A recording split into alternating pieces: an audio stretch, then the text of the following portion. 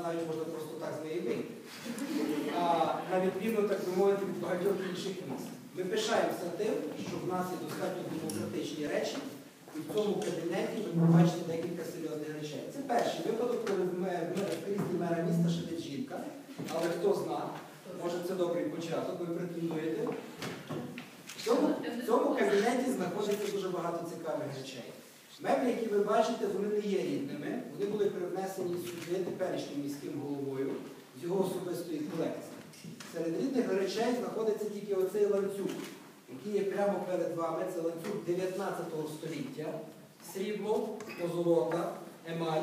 І цей ланцюг був спеціально зроблений для того, щоб кожен наступний міський голова його на себе вдягав.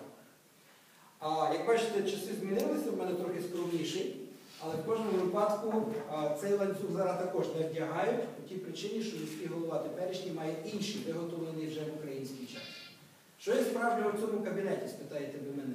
Пічка. Вона чи не єдине, що залишилося автентичне. Тут ви також бачите різноманітні картини, зокрема церква Юра, художників першої половини ХХ століття. Ну і, звичайно, Лев, князь Галицький, основатель Львова Града. Хочу вам сказати, що ми львів'яни завжди оригінальні люди. Як знають всі присутні, Данило Галицький Львів не заснував. Я почекаю ще 5 секунд, поки хтось впаде, втратить свідомість. Ніхто не втратив свідомість. Львів значно старший. Будь-який археолог вам це скаже.